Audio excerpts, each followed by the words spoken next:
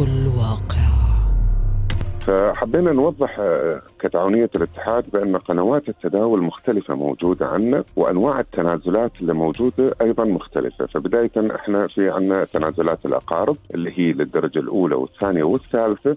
آه، ممكن تتم عن طريق الحضور لمركز المساهمين. وما يثبت صلة القرابة ويوقعون على أوراق التنازل ويقدمون المستندات اللي موجودة عندهم اللي تثبت درجة القرابة ويعبون النموذج المتوفر دفع رسوم المعاملة ويتنفذ الطلب بعد إغلاق المنصة في نفس اليوم. النوع الثاني في عندنا أيضا تنازلات التوكيلات الرسمية. ففي حال حضور الوكيل مع مستندات الرسمية أيضا اللي تثبت بأنه هو وكيل عن شخص معين عن مساهم معين. الوكالات طبعا تكون موجودة من الكاتب العدل يتم التأكد من البيانات كلها وعدد الأسهم والمستندات المقدمة وكلها ويتم إرسالها إلى الرقابة الداخلية أيضا لاعتماد الوكالة ومراجعتها المراجعة القانونية بعد ذلك تمشي ضمن الإجراءات وأيضا آه، تأخذ آه، مدتها ويتم التواصل مع الوكيل لاستلام إيصال التحويل أو تحويل الأسهم يعني ويتم دفع رسوم المعاملة وإنجاز آه، المعاملة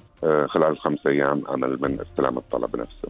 توفيرا للوقت وجهد المساهمين أيضا. مثل ما أنت عارف والكل عارف اليوم أن التعاونية أيضا نزلت تطبيق إلكتروني. من خلاله أيضا يقدر المساهم أو التداول لاسهم تعاونية الاتحاد انه يتداول الكترونيا الأسهم اللي موجودة سواء من بيع أو شراء. ممكن يطلب أسهم آه، يودع مبلغ معين في حسابه في التطبيق عن طريق إيداع مبلغ نقدي في مركز المساهمين المالية موجودين هناك أو من خلال تحويل بنكي أو أيضا من خلال آه، تقديم شيك.